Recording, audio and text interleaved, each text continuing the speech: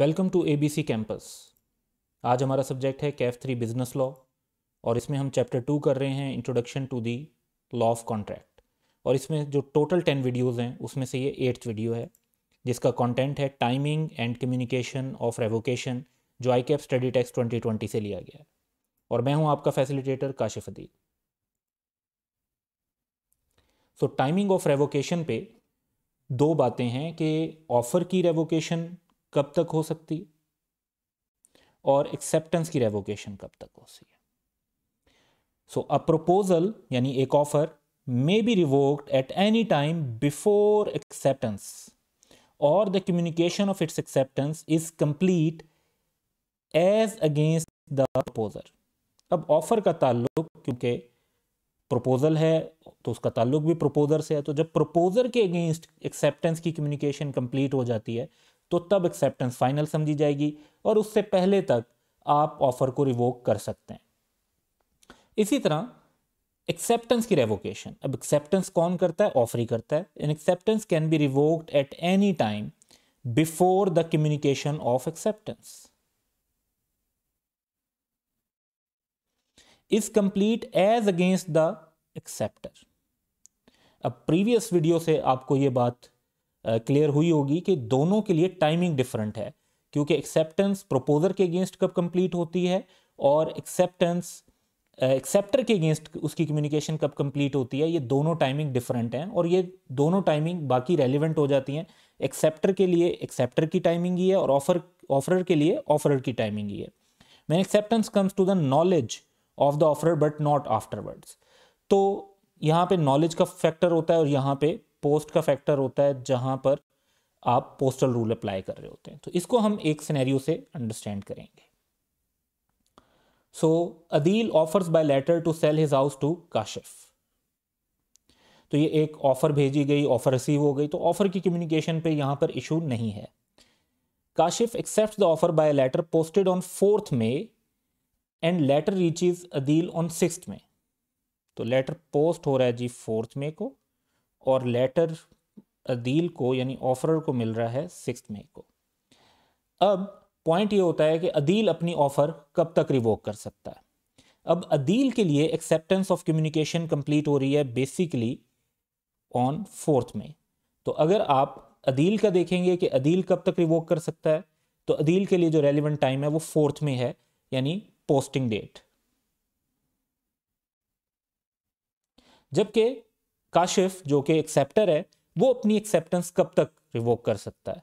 तो वो अपनी एक्सेप्टेंस रिवोक कर सकता है जब उसके अगेंस्ट एक्सेप्टेंस की कम्युनिकेशन कंप्लीट हो जाती है। दैट डेट इज़ सिक्स में तो यहाँ पर आप देखेंगे कि इसके लिए जो एक्सेप्टेंस है, वो सिक्स में सिक्स में से पहले तक वो अपनी एक्सेप्टेंस को रिवोक कर सकता है। तो यहाँ पर जो डेट दी गई है सिक्स में की, वो रिलेट कर रही है। तो रेवोकेशन का टाइम ऑफ़र की रेवोकेशन का टाइम डिफरेंट हो सकता है। और एक्सेप्टेंस की रेवोकेशन का टाइम डिफरेंट हो सकता है पोस्टल रूल के अंदर, जहाँ पे लेटर लिखे जाते हैं। और बड़ा सिंपल सा रूल ये है कि ऑफ़र एक्सेप्टेंस की पोस्टेज यानी एक्सेप्टेंस की पोस्टेज की डेट है, तब तक रिवोक की जा सकती है। और एक्सेप्टेंस इट एक्सेप्टेंस की जब डिलीवरी हो जाती है, जब वो नॉलेज में आ जाती है ऑफ़र के, तब तक उसको जो है, उससे पहले तक आप उसको रिवोक कर सकते हैं, उसके बाद आप उसको रिवोक नहीं कर सकते। अब कम्युनिकेशन ऑफ़ रेवोकेशन के कॉन्टेक्स्ट को एंगल से देखें तो तकरीबन सेम ही बात है। तो रेवोकेशन का कॉन्सेप्ट ये होता है कि रेवोकेशन जो शख्स रिवोक कर रहा है as against the person who makes it तो उसके लिए तो रेवोकेशन उसी टाइम आ जाती है when it is put in a course of transmission so as to be out of the power of the sender of revocation तो जिसने रेवोकेशन का लेटर सेंड किया, उसके लिए रेवोकेशन उसको सेंड करते ही पोस्ट करते ही ट्रांसमिट करते ही कंप्लीट समझी जाएगी। जबकि as against the person whom it is made जिसको वो रेवोकेशन भेजी गई है उसके लिए वो रेवोकेशन तभी रेलिवेंट है जब उसकी नॉलेज में आएगी। उससे पहले उसको इस बात का कोई अंदाज़ा या एक्सपेक्टेशन हम नहीं लगा सकते कि उसको सोचना चाहिए था कि शायद कैंसिलेशन uh, आ जाए रेवोकेशन आ जाए। तो जब तक उसकी नॉलेज में नहीं आएगा तब तक उसके अगेंस्ट कम्युनिकेशन कंप्लीट नहीं होगी। इसको भी हम अब एक सिनेरियो से अंडरस्टैंड करेंगे तो इसकी ज़्यादा बेहतर अंडरस्टैंडिंग क्रिएट होगी। So here we have two parties Talal and Bilal Talal offered by a letter on October 1st to sell goods to Bilal in Multan तो अक्टूबर फ़र्स्ट को एक लेटर जो है भेजा गया। Bilal receive the offer on eleventh October तो यहाँ तक जो हमारे पॉइंट्स थे कि अक्टूबर फ़र्स्ट को लेटर भेजा गया और इलेवंथ अक्टूबर को लेटर रिसीव हो गया, वो हमने अपने स्नैरियो में नोटिस कर लिया। एंड गेव हिज एक्सेप्टेंस अब जो बिलाल की तरफ़ से एक्सेप्टेंस है, वो इलेवंथ अक्टूबर को ही भेजी गई और इलेवंथ को ही मिल गई। सिनेरियो में मेंशन नहीं है, लेकिन it may be a letter it may be a telephone और it may be an email जिसके थ्रू वो फॉरेन कम्युनिकेशन सेम डे पे कर दी गई हो। On eighteen October, Talal wrote a letter revoking his offer अब क्योंकि आप ये देख रहे हैं कि एक्सेप्टेंस कंप्लीट हो चुकी है दोनों पार्टीज़ के अगेंस्ट अक्टूबर इलेवन को। तो अब जब एक बार एक्सेप्टेंस हो गई तो फिर आप अपनी ऑफ़र रिवोक नहीं कर सकते। सो so, ये जो लेटर भेजा गया है एटीन अक्टूबर को और ये मिला है फिर ट्वेंटी अक्टूबर को। Held the revocation was of no effect until it reach Bilal a contract was made on eleventh October when Bilal accepted the offer तो इस जो आपकी रेवोकेशन है इसकी कोई लीगल वैल्यू नहीं है। ये इस पे कोई फ़र्क नहीं पड़ेगा। ऑलरेडी एक्सेप्टेंस हो चुकी है और कॉन्ट्रैक्ट कंप्लीट हो चुका है। अब हम कुछ पास्ट एग्ज़ाम्स देखते हैं, जिसमें हम प्रीवियस जो हमने टॉपिक कवर किए थे, उनको भी हम देखेंगे कि उन्हें कैसे डील करना है पास्ट एग्ज़ाम में और कुछ जो आज हमने इस वीडियो में कवर किया उससे रेलिवेंट भी हैं। So under the provision of contract act 1872 list the essentials of a valid acceptance अब ये वर्ब बहुत इंपॉर्टेंट है कि आपसे लिस्ट मांगी गई है डिटेल एक्सप्लेनेशन और एग्जाम्पल्स आपसे नहीं पूछी गई। ये पास्ट एग्ज़ाम है आटम 17 का और ये फोर मार्क्स का जो है क्वेश्चन एग्ज़ाम में पूछा गया था। तो under the contract act essentials of a valid acceptance are as follows तो ये पहला पॉइंट होना चाहिए। उसके बाद acceptance must be absolute and qualified अब हमने जो पॉइंट्स वहाँ पे पढ़े हुए हैं, उनकी डिटेल्स लिखने की ज़रूरत नहीं है। आपने उनको लिस्ट कर देना लेकिन लिस्ट ऐसे करना है कि बात पूरी समझ में आ रही हो। अब आप जस्ट हेडिंग अगर लिख देते हैं जी एब्सोलूट एंड क्वालिफाइड तो दैट इज़ नॉट कंप्लीट आपको बताना चाहिए कि इट शुड बी एब्सोलूट और एंड अनक्वालिफाइड हो सकता है किसी जगह पर आप कह रहे हो कि ऐसा नहीं होना चाहिए तो mere silence is not acceptance तो यहाँ पे देखें नॉट एक नेगेटिव सेंटेंस यूज़ किया गया, किसी जगह पे पॉजिटिव सेंटेंस यूज़ किया जाएगा तो acceptance must be absolute and unqualified unconditional होनी चाहिए। Unqualified means unconditional it must be communicated either in writing यानी एक्सप्रेस हो सकती है बाय वर्ड ऑफ़ माउथ और by performance of some act तो यानी एक्सेप्टेंस एक्सप्रेस भी हो सकती है और इम्प्लाइड भी हो सकती है। Acceptance must be in the prescribe mode कि भाई जिस तरीके से कहा गया था कि जब आप ई मेल से करें तो ई मेल से कर रहे हैं लेटर से कहा गया था तो लेटर से कर रहे हैं, और अदरवाइज़ रीजनेबल मोड यूज़ किया जा रहा है। Acceptance must be given within the time specified या फिर रीजनेबल टाइम के अंदर होना चाहिए। टाइम स्पेसिफाइड हो तो उसके अंदर करेंगे, और अगर टाइम स्पेसिफाइड नहीं है तो रीजनेबल टाइम में करेंगे। Mere silence is not acceptance जो हम कहते हैं जी नेगेटिव कन्फर्मेशन नहीं हो सकती। आप ये नहीं कह सकते कि जी विद इन वन वीक जवाब ना दिया तो हम समझेंगे कि आपने एक्सेप्ट कर लिया तो ऐसी एक्सेप्टेंस नहीं होती। Acceptance must be given only by that person to whom the offer has been made तो जिसको ऑफ़र की गई है ऑफ़र ही एक्सेप्ट कर सकता है ऑफ़र के अलावा कोई और शख्स उसको एक्सेप्ट नहीं कर सकता। The acceptor must be aware of the proposal अगर किसी को ऑफ़र का पता ही नहीं है तो वो उसको एक्सेप्ट नहीं कर सकता। अगर वो कोई काम कर भी देता है तो फिर वो उसमें क्लेम नहीं कर सकेगा। Acceptance must be given before the offer lapses क्योंकि अगर एक बार ऑफ़र लैप्स हो गई तो फिर उसको एक्सेप्ट नहीं किया जा सकता। और पहले एक्सेप्टेंस हो गई तो फिर वो ऑफ़र लैप्स ही नहीं होगी फिर तो एक कॉन्ट्रैक्ट हो चुका होगा। तो ये सिंपली आपने आइटम्स लिस्ट कर देने थे फोर मार्क्स हैं and you have to list eight items so marking scheme के परस्पेक्टिव से आप देख सकते हैं कि पॉइंट फाइव मार्क्स की uh, के लिए आपको वन लाइन को यहाँ पर लिखना था। तो बहुत ज़्यादा लिखना ज़रूरी नहीं होता। और लेकिन ये कि टू द पॉइंट आप बात करें लिस्ट मांगी गई है तो जस्ट लिस्ट दें। फुल डिटेल्स यहाँ पर मेंशन करने की ज़रूरत नहीं है।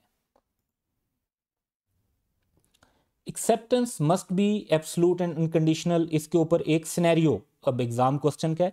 ये आटम 15 का क्वेश्चन है और थ्री मार्क्स का एक छोटा सा सिनेरियो है। Murad offer offered his car to Sanam for rupees four hundred thousand एक सर्टन सम है। और ऑफ़र है, ठीक है जी। Sanam accepted the offer and enclose the pay order of rupees one fifty thousand अब ये देखें ऑफ़र थी फोर हंड्रेड थाउज़ेंड की और जो पे ऑर्डर है वो वन फिफ्टी थाउज़ेंड का है। तो अमाउंट नहीं मैच हो रही। With a promise to pay the balance in monthly instalment offer के अंदर तो कोई इंस्टॉलमेंट नहीं है। तो ये जो ऑफ़र है, ये एब्सलूट और अनकंडीशनल तो नहीं लग रही। तो ये एसेंशियल एक पूरा नहीं हो रहा monthly instalment of sixty two five hundred each अब रिक्वायरमेंट क्या है उसको देखते हैं, फिर अकॉर्डिंगली रिस्पॉन्ड करेंगे इसको आंसर में। Under the provision of contract act 1872 explain whether it is a valid contract ये एक्सेप्टेंस जो है, ये ऑफ़र के मुताबिक नहीं है। तो acceptance must be absolute and unconditional ये रूल है हमारा। तो इसी पर सारी बात होगी कि ये प्रॉपर नहीं हाँ। जो, ये बल्कि काउंटर ऑफ़र होगी। अब ऑफ़र के ऊपर है कि वो इसको एक्सेप्ट करना चाहे या ना चाहे। तो इसको हम वर्डिंग अच्छी जो है वो यूज़ हुई होती है हमारे सजेस्टेड आंसर्स में तो उसी को हम रीड uh, कर लेते हैं। An acceptance should be unconditional assent by the offeree to all the terms of the offer in this case since the offer has been accepted with a variation ये जो मंथली इंस्टॉलमेंट्स डाल दी और पे order थोड़ी amount का तो ये variation है। It would be regarded as a qualified यानी qualified means conditional acceptance therefore a contract between Murad and Sanam has not been form तो ये एक आपने कंक्लूजन लेकिन याद रखें कंक्लूजन विद रीजनिंग है। रूल ऑफ़ लॉ बताया गया कि अनकंडीशनल होनी चाहिए एक्सेप्टेंस फिर बताया गया कि इस सिनेरियो में एक्सेप्टेंस जो है वो कंडीशनल है। और फिर उस पर कंक्लूजन ड्रॉ किया गया कि इस वजह से कॉन्ट्रैक्ट नहीं हुआ। और फिर एक अल्टरनेट सिनेरियो जो पॉसिबिलिटी थी, उसको भी डिस्कस किया गया कि however if Murad accept the counter offer if offer made by Sanam then it would be a binding contract तो काउंटर ऑफ़र अगर एक्सेप्ट कर ली जाती है बाय ऑफ़र तो फिर वो एक कॉन्ट्रैक्ट हो जाएगा, क्योंकि counter offer plus acceptance would also be a contract तो ये थ्री मार्क्स के लिए था and you have to write specifically to the point अगर आप देखें तो आपने स्नैरियो को रिस्पॉन्ड करते हुए रूल ऑफ़ लॉ को मैंशन किया, उसके बाद आपने उस रूल ऑफ़ लॉ से रिलेटेड एप्लीकेशन बताई उस स्नैरियो पर, और फिर आपने कंक्लूजन ड्रॉ किया, और एक अल्टरनेटिव सिचुएशन को भी डिस्कस किया। तो you total discussed four items for three marks एक और ये स्नैरियो है जो कि स्प्रिंग 2020 के पास्ट एग्ज़ाम में थ्री मार्क्स के लिए क्वेश्चन आया Batool offer to sell her flat to Saqib for rupees four point two million Saqib accepted the offer and sent a cheque of one point five million पैसे कम भेजें। With stipulation to pay the balance in twenty four of one twelve five hundred each explain whether it is a valid contract ये similar point है कि आपने जो है installments कर दी तो it is not a proper acceptance क्योंकि कंडीशनल है, इसमें आपने अपनी स्टिपुलेशन डिफाइन कर दी तो एक कॉन्ट्रैक्ट नहीं हुआ होगा। हाँ काउंटर ऑफ़र जो की गई है, अगर उसको बतूल एक्सेप्ट कर लिया तो फिर एक कॉन्ट्रैक्ट हो जाएगा। तो यही पॉइंट्स हम देखेंगे। सबसे पहले आप रूल बताएँगे कि ऑफ़र अनकंडीशनल होनी चाहिए। इस सिनेरियो में क्योंकि वेरिएशन इनकॉर्पोरेट की गई है तो ये एक क्वालिफाइड या कंडीशनल एक्सेप्टेंस है और कॉन्ट्रैक्ट जो है वो नहीं हुआ। हाँ अलबत् अगर बतूल काउंटर ऑफ़र एक्सेप्ट कर ले तो एक बाइंडिंग कॉन्ट्रैक्ट हो जाएगा। सो फोर पॉइंट्स आप डिस्कस करेंगे फॉर थ्री मार्क्स जिसमें आपने रूल ऑफ़ लॉ बताया, उसकी एप्लीकेशन को डिस्कस किया कंक्लूजन को डिस्कस किया और एक अल्टरनेटिव डिस्कस किया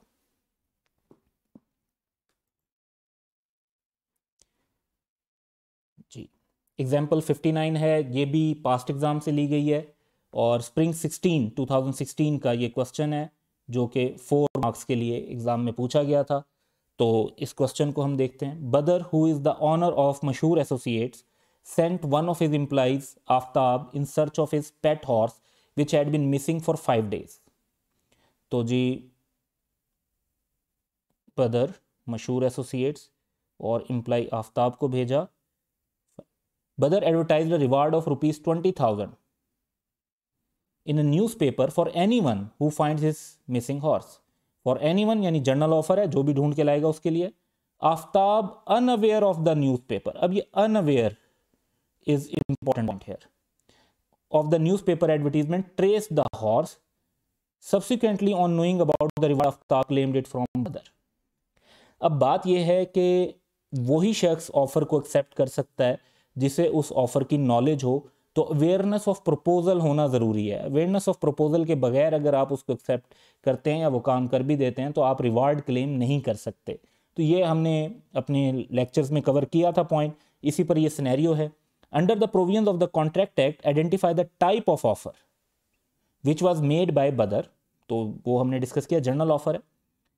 Also state whether Aftab would be able to claim the amount reward under the circumstances तो वो क्योंकि अनअवेयर है ऑफ़ द प्रपोजल तो वो उसको एक्सेप्ट जो है एक्सेप्टेंस वैलिड ही नहीं होगी and he can not claim the reward तो इसको हम अब एग्जामिनर वर्डिंग देख लेते हैं, जी सजेस्टेड सोल्यूशन की वर्डिंग क्या है। It is the case of general offer तो ये देखें टाइप ऑफ़ ऑफ़र बतानी थी आपने। As it was made to the public लेकिन सिर्फ़ बताना नहीं है जर्नल ऑफ़र है, आपने रीजनिंग बतानी है। A contract is made with the person who having the knowledge of the offer comes forward and acts according to the condition of the offer ये प्रपोजल से अवेयर होना चाहिए, उसके लिए रूल को बताया गया। However under the given circumstances Aftab can not claim the amount ये कंक्लूजन है। Of reward from Badar as अब रीजनिंग है। As there was lack of communication of the offer and Aftab did not know about the reward when he found the missing horse तो ये जो rule था, उसको इस scenario पर apply कर दिया गया, और उसकी बेस पर कंक्लूजन पहले बताया गया। तो कंक्लूजन आप बाद में भी बता सकते हैं तो इसकी सीक्वेंसिंग आप चेंज कर सकते हैं आंसर की, लेकिन आपके सारे पॉइंट्स आपके आंसर में कवर होने चाहिए।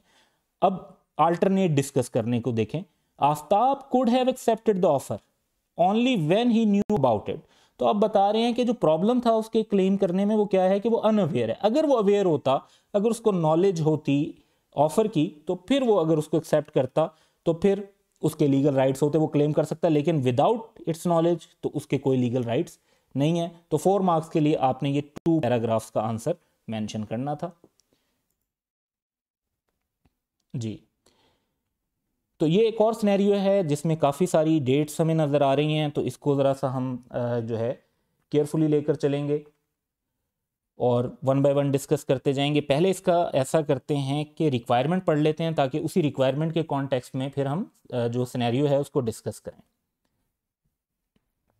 under the provisions of contract act 1872 briefly describe when the communication of the offer and acceptance and the revocation of the offer was completed as against Salim and Ghazi under the above circumstances okay and whether a binding contract was created between Salim and Ghazi तो हमने briefly describe करना है communication को offer की acceptance की revocation की, और हर चीज़ को सलीम के अगेंस्ट भी देखना है और गाजी अगेंस्ट भी देखना है। तो ये three into two six points तो ये हो जाएँगे।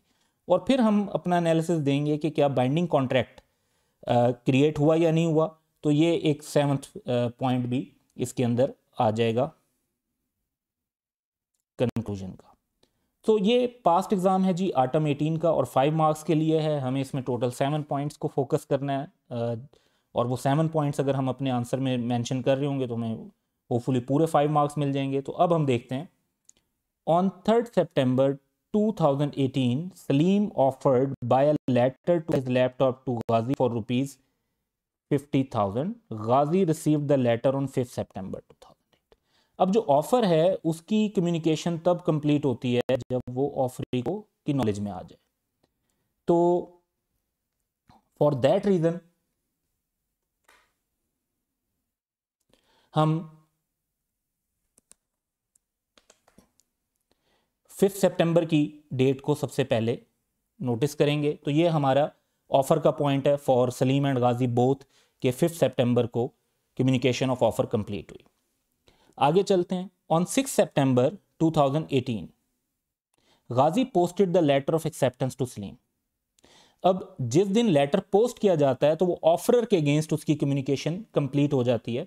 तो सिक्स सितंबर की डेट एक्सेप्टेंस की कम्युनिकेशन कंप्लीट हो जाएगी अगेंस्ट सलीम उसके बाद the letter reached Salim on eight September 2000 acceptance जिस दिन ऑफ़र तक पहुँच जाती है, उस दिन ऑफरी के अगेंस्ट उसकी कम्युनिकेशन कंप्लीट हो जाती है, यानी गाजी के अगेंस्ट एक्सेप्टेंस की कम्युनिकेशन कंप्लीट होगी एट सितंबर 2018 उसके बाद Salim wrote letter of revocation of of offer and posted it to Ghazi on 5th September 2018. तो बेसिकली ऑफ़र तीन को भेजी थी, जिस दिन ऑफ़र दूसरी जगह पर रिसीव हुई, उस दिन रेवोकेशन पोस्ट कर दी गई थी। रेवोकेशन का रूल एक्सेप्टेंस से डिफरेंट है। इसमें जो सेंडर है, उसके अगेंस्ट ये कंप्लीट हो जाएगी पोस्ट डेट को। तो सलीम ने भेजी है फिफ्थ सितंबर को तो सलीम के अगेंस्ट रेवोकेशन कंप्लीट हो जाएगी फिफ्थ सेप्टेम्बर को। The letter reach Ghazi on seven September revocation का जो कम्युनिकेशन है, वो सेवन सेप्टेम्बर को गाजी को मिला। गाजी को जब मिला, तभी उसकी कम्युनिकेशन काउंट होगी। तो यहाँ पर आपने ये अंडरस्टैंड करना है कि एक्सेप्टेंस के लिए रूल्स और हैं और रेवोकेशन के लिए रूल्स और हैं। तो रेवोकेशन के अंदर जो अब एज अगेंस्ट गाजी है, उसको सेवन सेप्टेम्बर को मिला तो वो डेट काउंट होगी। तो ये सारी डेट्स जो हमने नोटिस की, इनको आप नरेशन में लिखेंगे अपने आंसर के अंदर और उसके बाद हमारा ऑफ़र की भी कम्युनिकेशन डिस्कस होगी एक्सेप्टेंस की भी होगी रेवोकेशन की भी होगी। अब जो हमें मजीद पॉइंट डिस्कस करना है, वो है कि क्या बाइंडिंग कॉन्ट्रैक्ट क्रिएट हुआ है? तो बात यह है कि सलीम जो है, वो ऑफ़र को रिवोक करना चाहता है। तो रेवोकेशन गाजी के अगेंस्ट कंप्लीट हुई है जी सेवन सेप्टेम्बर को। लेकिन कम्युनिकेशन ऑफ़ एक्सेप्टेंस जो है, वो सलीम के अगेंस्ट कंप्लीट हो चुकी है सिक्स सेप्टेम्बर तो सिक्स सेप्टेम्बर को सलीम के अगेंस्ट कॉन्ट्रैक्ट हो चुका है। अब रेवोकेशन जब इसके बाद होगी तो वो गाजी के ऊपर जो है आप इम्पोज नहीं कर सकते और यहाँ पर एक बाइंडिंग कॉन्ट्रैक्ट है बिटवीन सलीम एंड गाजी तो एक कॉन्ट्रैक्ट क्रिएट हो गया है और अब ये जो रेवोकेशन है, ये वैलिड नहीं होगी। तो इसके आंसर की तरफ़ चलते हैं कि हमारा एनालिसिस और आंसर कितना मैच करते हैं। So communication of offer was completed on fifth September जब वो नॉलेज में आई गाजी की communication of acceptance against Salim six September को against Ghazi eight September revocation की बात करेंगे तो अगेंस्ट सलीम फिफ्थ सेप्टेम्बर को और अगेंस्ट गाजी सेवन सेप्टेम्बर को तो वही सारी डेट्स मेंशन की गई हैं। और साथ ही ये डिस्कस किया गया है क्योंकि एक्सेप्टेंस सिक्स सेप्टेम्बर को कंप्लीट हो रही थी और रेवोकेशन सेवन सेप्टेम्बर को तो सिक्स सेप्टेम्बर को कॉन्ट्रैक्ट हो चुका है।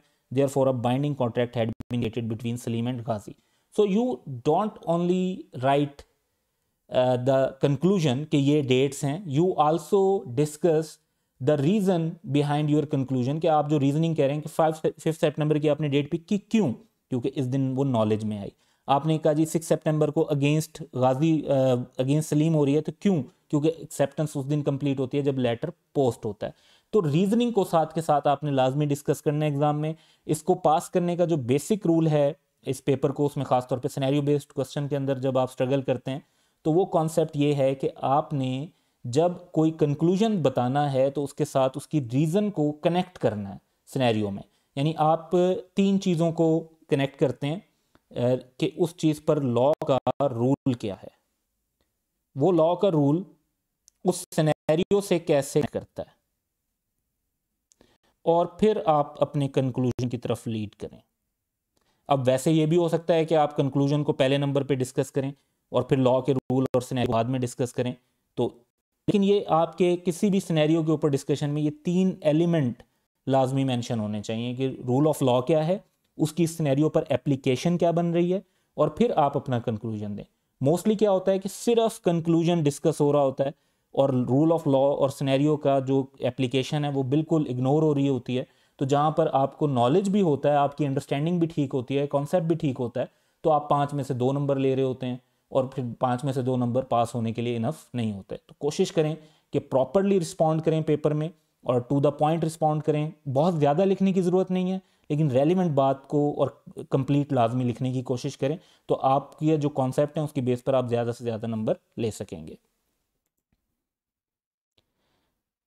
एक और है जी हमारे पास क्वेश्चन ये स्प्रिंग uh, नाइनटीन से रेलिवेंट है और ये जस्ट टू मार्क्स का क्वेश्चन है। उस हिसाब से थोड़ा सा बड़ा क्वेश्चन है, लेकिन आई होप कि ये काफ़ी सिंपल आपको लगेगा।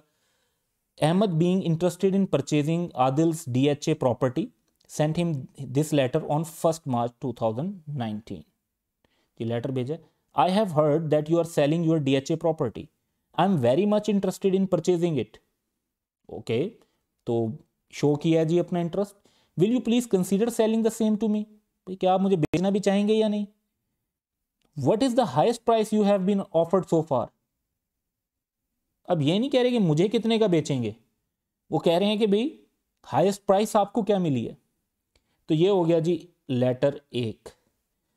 फिर है Adil replied Adil replied the highest quotes for the property till now is rupees thirty five million okay अब ये दूसरा जवाब आ गया। यहाँ तक अगर देखा जाए तो कोई ऑफ़र एक्सेप्टेंस नहीं है। पहले लेटर के अंदर इंफॉर्मेशन पूछी गई है और दूसरे लेटर में इंफॉर्मेशन दी गई है, कोई willingness to enter into contract यानी ऑब्जेक्टिव ये कि जी दूसरे पर्सन की कॉन्सेंट मिल जाए, वो नहीं है इंफॉर्मेशन सीक हो रही है, लेकिन willingness to enter into a contract दोनों के बात में कहीं नज़र नहीं आ रही। Ahmed replied I agree to buy agree to buy से लग रहा है कि एक्सेप्ट करना चाहें चाह रहे हैं, लेकिन क्योंकि there is no offer so far तो एक्सेप्ट नहीं कर सकते। D H A property for rupees thirty million Subsequently, Adil received an offer from Hamid quoting 38 million for the said property. What will be the Adil's liability towards Ahmad if he wishes to make the sale to Hamid? भाई ज़ाहिर बात है 36 million पे वो cell नहीं करना चाहेंगे when he has a quote of 38 million तो बात ये है कि कोई कॉन्ट्रैक्ट तो नहीं हुआ विद अहमद तो for that reason there is no contract and no obligation no liability तो अब इसको आंसर को डिस्कस कर लेते हैं। The first letter from Ahmed and Adil response on it were merely asking for information and providing information respectively and not offer and acceptance offer and acceptance नहीं है तो there is no contract the second letter from Ahmed वो offer है। Was itself N offer और acceptance नहीं है। Since this offer had not been accepted by Adil Adil ने accept कर लिया होता, फिर तो लाइबिलिटी थी, फिर तो वो अगर किसी और को सेल कर देते तो फिर अहमद का राइट था कि वो कोर्ट में जाकर अपने राइट को इन्फोर्स करते कि भाई किसी और को नहीं बेचने देंगे और ये मुझे बेचनी चाहिए इतने की। तो लेकिन एक्सेप्टेंस ही नहीं हुई तो खाली ऑफ़र की बेस पर तो कोई ऑब्लिगेशन नहीं है। There is no binding contract accordingly there is no liability if Adil sells his bungalow to Hamid तो आदिल के पास दो ऑफर्स हैं. He can sell to anyone he likes और इसमें उनके ऊपर कोई ऑब्लिगेशन नहीं होगी।